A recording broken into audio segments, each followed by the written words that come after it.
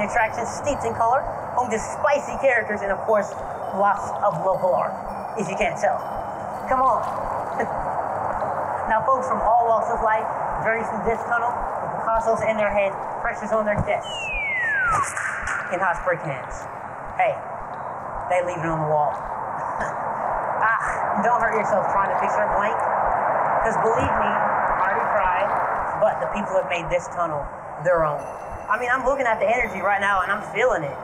It's everywhere. There's culture it. And at the heart of it all is a movement that's over a half a century old. A movement with an angel and a devil on his shoulder. A movement called Beauty in Hag. Now listen up. Now you can say it's split between politics or through worlds, whatever your creed is, but it has a name.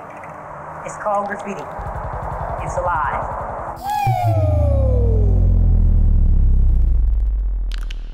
I'm Ari Bradley, and this is the soul of graffiti. I want you to imagine a world where walls could tell a story. What would they say? What would highway barriers leading to Buckhead say to the abandoned brick walls in their shadow? Or illustrious murals in Decatur to the MARTA trains of Atlanta, Georgia? They're practically cousins, right? But family is tricky. Things are complicated. They all lead lives defined by other people, and no one asks for their story. So many tattoos. Tattoos from those who needed a canvas. These walls have street cred, yet they never say a word. Why is that? What did they have to say, and what is their story? Well, it all starts with that ink on their back, penned by the graffiti movement in the bustling cities of America.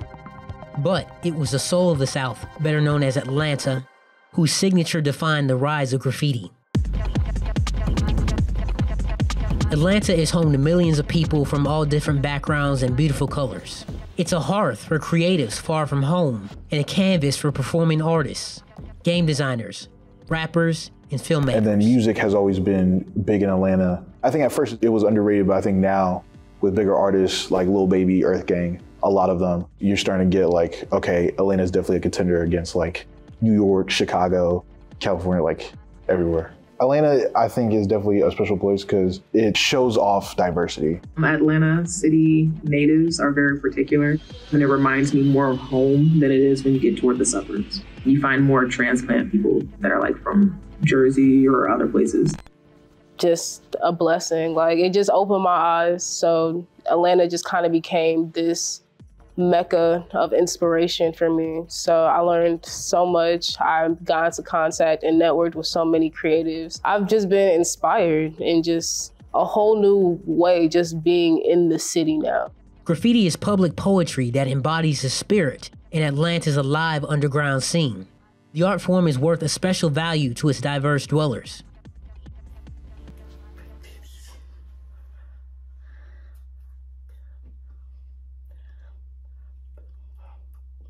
In the past, I always thought it was just an art. People have their own way of expressing themselves, you know?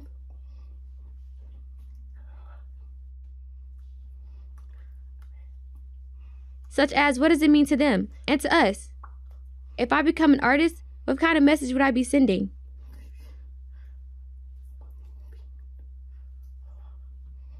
Graffiti now has beauty behind the art, the lines, and the colors.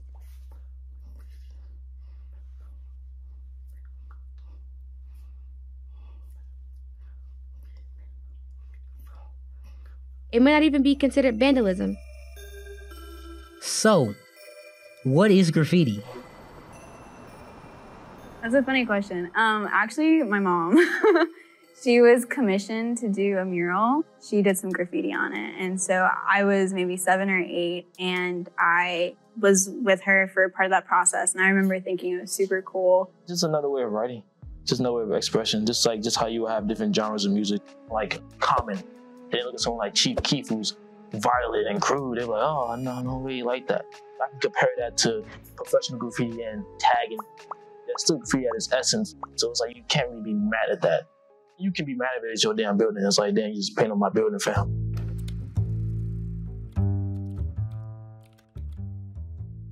In the loosest terms, graffiti is street art.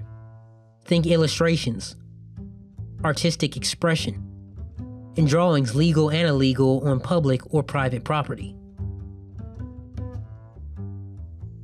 This includes tags on trains, another language on the side of mom and pop country stores, and chicken scratch inside bathroom stalls, often socially charged. Cartoons aren't always kid friendly, but they mean something.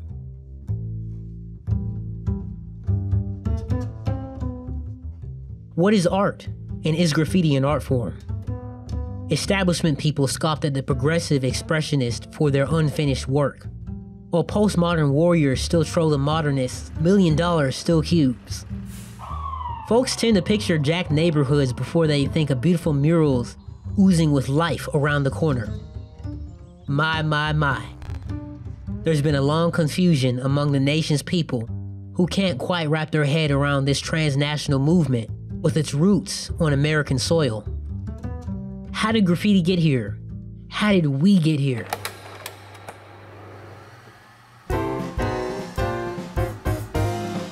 And there's always the weak sheep who must follow the crowd, right or wrong. If others have painted their names on something, he must do the same. There's a lot to unpack.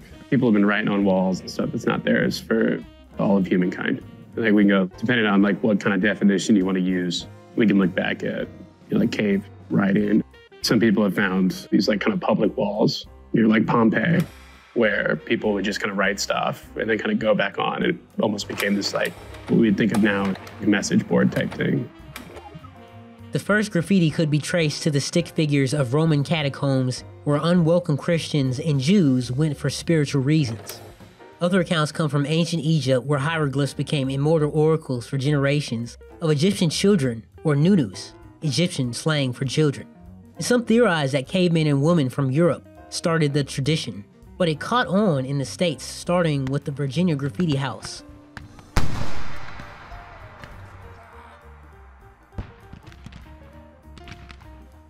The term graffiti, originating from the Greek term graphein, translation, write, caught on in the 15th century, being used to describe quaint drawings on walls. Depictions of identity and culture became constant all over the world. A new invention by Chicago's Edward Seymour made its debut in 1949, known as the paint spray can, which made it easier for expression. However, the spray paint can's creation was a global feat, with efforts from the US military during World War II for bug spray which combined Norwegian Erik Rotheim's basic model from years earlier with Swiss immigrant Robert Abplanalp's aerosol pressure valve. This development set graffiti on the path towards its latter contemporary art form status. It's not until the 60s, with the meteoric rise of tags in Philly, that the alternative art community noticed. When we look at graffiti, really got its start in Philadelphia. Philly is still to this day is known for what's called hand styles. Think of it like a tag, little signature, little initials. Very simple in terms of one color, and I'm just doing this. But Philly then was like, all right, how can we make this bigger and better? So they have wild style. They call them wickeds. And so you're looking, and you can even sit there and, and watch somebody do it. And you're like, still have no idea what that says. And they're like, oh, that's because you're not from Philly. A tag's purpose developed as a writer's way to speak without being present. Writers combine color theory, calligraphy, and penmanship for celebrity in the streets, with quick throw ups or throwies, distinctive for their simplicity in bubble letters. The word tyke came to mind to describe beginning writers with little to no experience who wanted to say something. This primitive period came to be the tyke era, the genesis of graffiti activists. Negro leaders feared that their work had failed. Those who did come waited singing.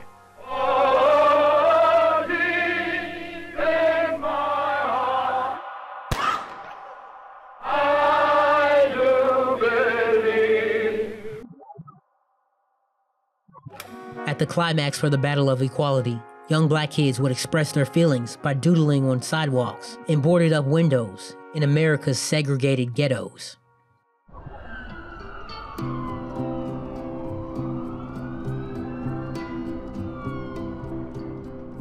New York took it and was like, hey, let's put it on subways.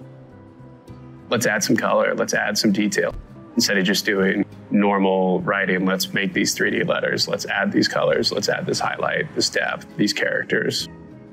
It's developed. Styles have changed and people have added this and that. I mean, just like any art movement, it starts off and then people start figuring stuff out.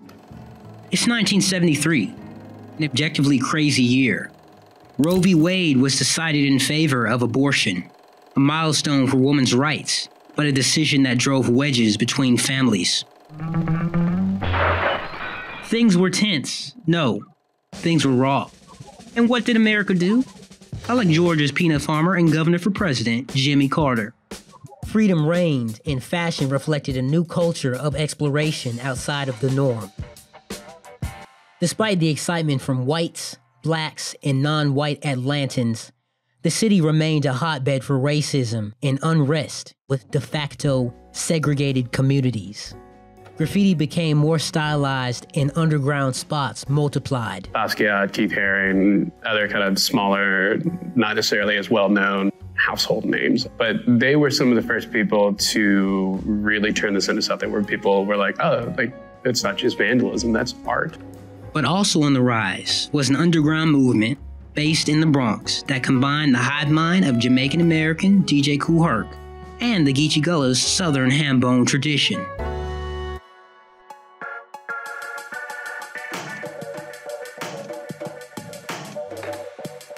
Growing up in the 80s. Literally, this is who I was listening to Michael Jackson, Prince, Bon Jovi, because I definitely was into rock. Blondie video.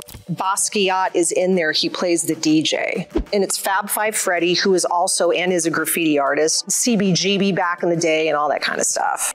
That was pretty cool. That was really, really cool. Keith Harington message and his public display of his message, but it was still his own universe of characters. I, it was just the way he like cultivated his art. I just, I love it. He has an inner child, you know? I love art like that. It's very inspirational. His art style looks so innocent as a child, but still has the message of like really grown adult.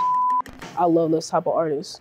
New York was kind of the one to really just ramp it up, man. The late 70s marked an adolescence period for writers as the era of the individual took shape.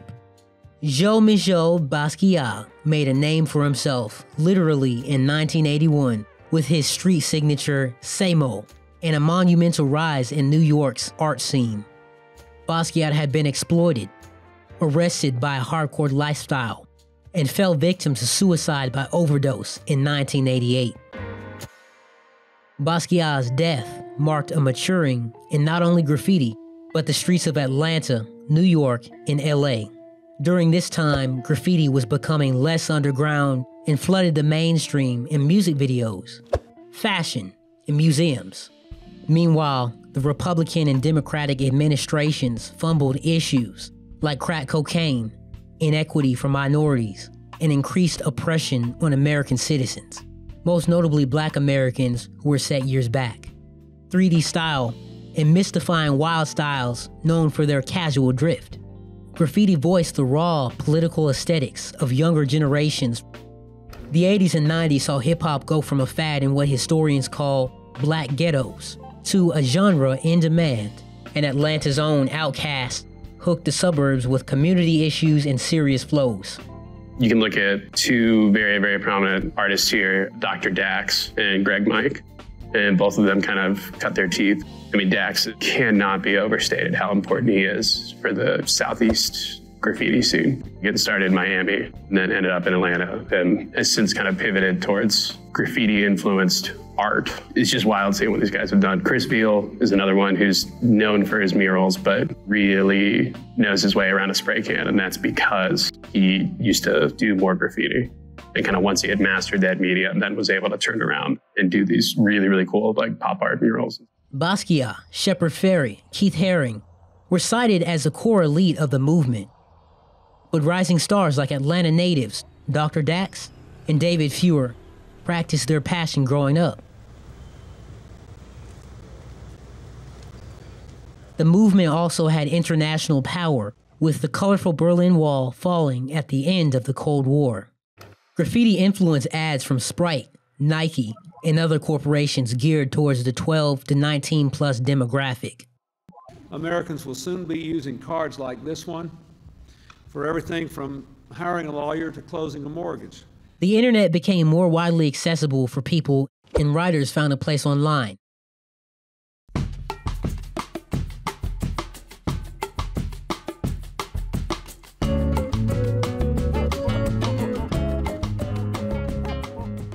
Overseas in a land called the UK, Banksy went viral with unconventional pieces that challenged authority, who worked his way up from tyke status, doing stencil art to freehanding globally recognized rebel works. Girl with the Balloon in 2002. When I moved to LA, lots of graffiti there. It's like Shepard Fairey, I was seeing his obey stickers everywhere. In America, low income communities all over the country felt decimated by an economic system that wasn't in their favor. This shift could be seen in places like southwest Atlanta, in contrast to the affluent of Atlanta north of Ponce. Graffiti veterans and tykes alike used their voice to inspire hope in the digital age. Credit Hope by Shepard Fairey, as seen on Atlanta's Ponce de Leon and Cabbagetown. The first African American president would take office in 2009 by the name of Barack Hussein Obama, a massive high point in morale amidst a recession. Criminal charges are filed in the shooting death of Breonna Taylor. After two black men died in police shootings and five officers were killed during a peaceful protest of those shootings. John Lewis, one of the leaders of the civil rights movement and a member of Congress for more than 33 years, died yesterday.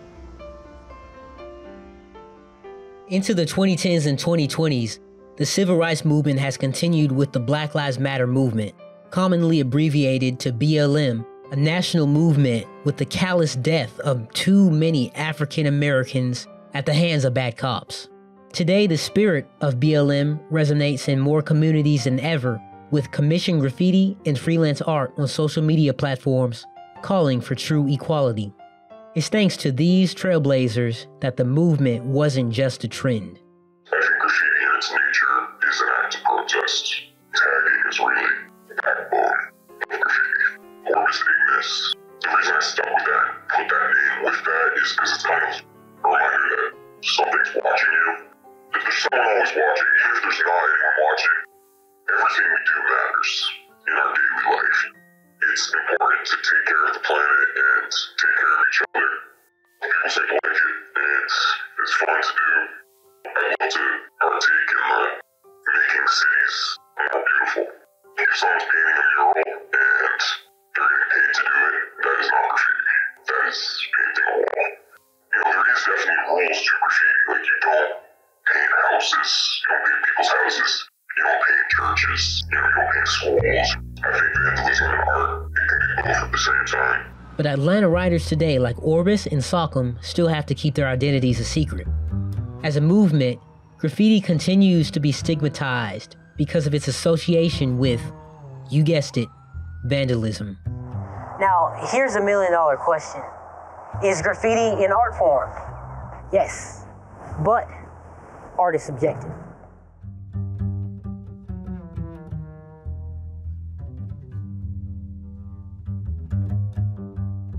I think it's cool as long as it looks very artsy and meaningful.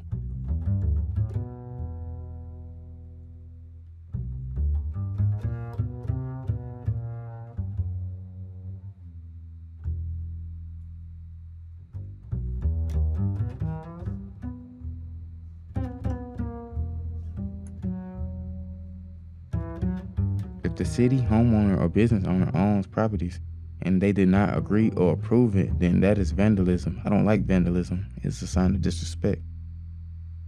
Gangs and bombers mark their territory with blunt tags, while vandals mark property that's off limits. It's definitely vandalism. like, definitely illegal.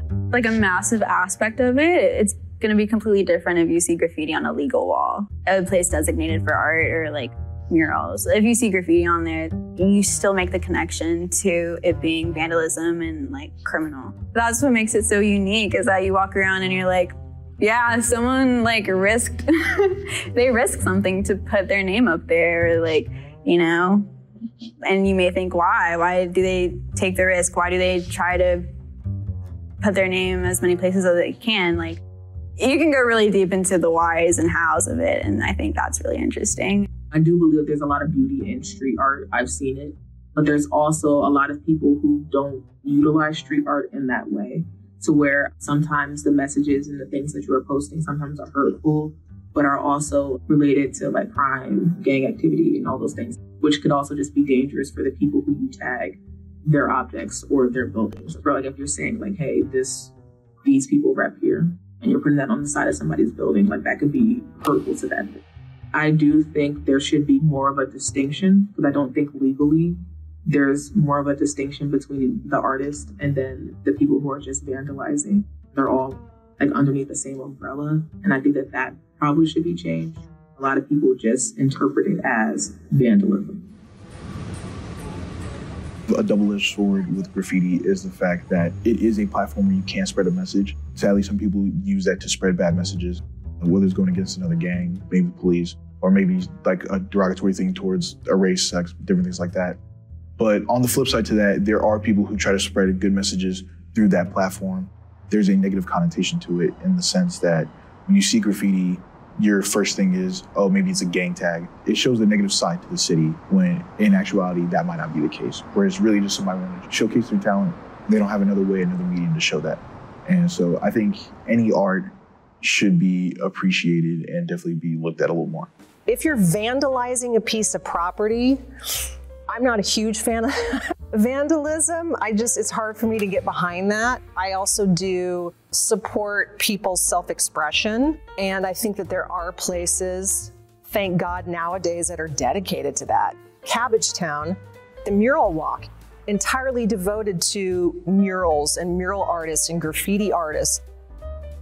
I think there needs to be more of that for people to have a place to go. Vandalism in itself is like just a public display of what's going on in society. Atlanta shutting down the highway because they were trying to cover up the bridge, and they shut down an entire highway, backed up traffic just to cover up some tags that the taggers are going to come back within a week and just spray it up again. You can keep it clean, but it's not it's not even going to be clean for that long. Like I just feel like it's this weird cat and mouse race. Atlanta writers today, like Orbis and Salcom, still have to keep their identities a secret.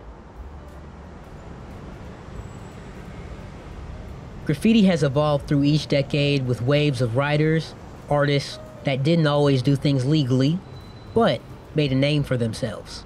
Because of the Tykes, the teens, and the trailblazers, you can see what America has been through just by looking at walls or scrolling online art graffiti has become more accepted by the general public as a way to engage young and old Americans for education, culture, and direction in this life. My first collection was called A Being, pretty much kind of like an introduction into my world. So it was graphic design and was based on like a lot of like characters, planetary characters, just being and doing different stuff also like wearing like my fashion designs that I'm also like in the works of doing because I really want to start a fashion brand. And it was really just about becoming or like the whole art of becoming the statement I am a being. That whole sentence in itself, like you could be anything. I am anything. And if you are anything, you are essentially a being. Pieces in Midtown and historical landmarks like Krog Street Tunnel in Atlanta today showcase how far the movement has progressed, with controversial writers, activists, and yes, professional graffiti artists sharing the same canvases. Atlanta has like a really cool mix of people who appreciate and understand, but don't necessarily do graffiti, or if they do, they then kind of pivot and do something like Chris Veal, where he's doing murals all the time, but very little letter work, or at the very least, that's not the central focus. But then you have a bunch of other people who are just out there on the streets I mean, man, you can just rattle off some names here in Atlanta, and it's gone beyond just like, oh, look at me, I wrote my name up here, like the same way a kid might write on a wall. There's a lot of attention now being paid to like color theory, and you see all these like artistic. Well, if my light source is here, where would my highlights be? Where's where am I doing this drop shadow? Should I use contrasting colors or comp? Like, it's wild. Artists turned activists like Fabian Williams and Yulzi Mathurin infuse pop culture with social issues in their art affecting the black community.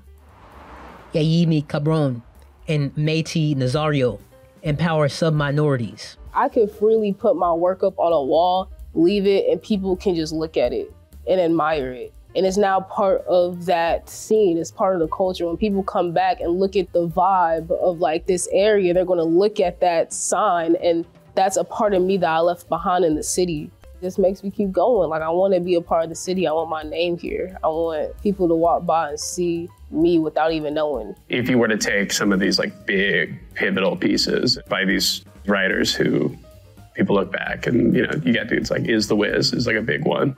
If you were to take that and drop it anywhere now, people would be like, "This is garbage. This sucks," just because it's developed. Commercial street art has expanded to benches, sidewalks, heck, even workplaces by way of a new generation. The spirit of Basquiat lives on in local innovators Austin Blue and Alex Brewer, who continue to redefine street art.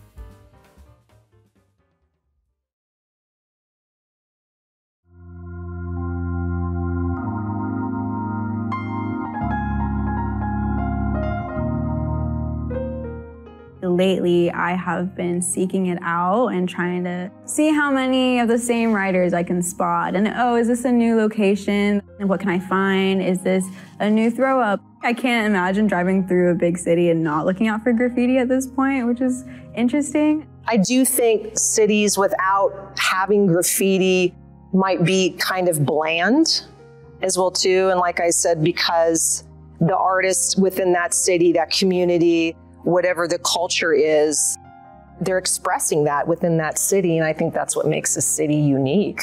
It does get a bit boring seeing the same old walls, seeing the same bricks, you know. So to have like graffiti on the walls, you know, see something new, you know, I think that definitely adds a little flavor to the city. If you love it, do it. Because I feel like with a lot of things, if you don't love it, you're not gonna give it 100%. So if you love it, do it. But as with everything, there is a right way, a right time to do things. I really think it's kind of just a think before you do. But at the same time, if you love it, practice it, keep up the work, and you know, maybe one day you are like some of these other artists and writers that are recognized. I would say to pick up a little black book and some Sharpies and to practice. Am I encouraging criminal activity and vandalism? Mm, For the record, no, but I think for the art part of it, yeah, go get that little book and maybe some spray cans and practice at home.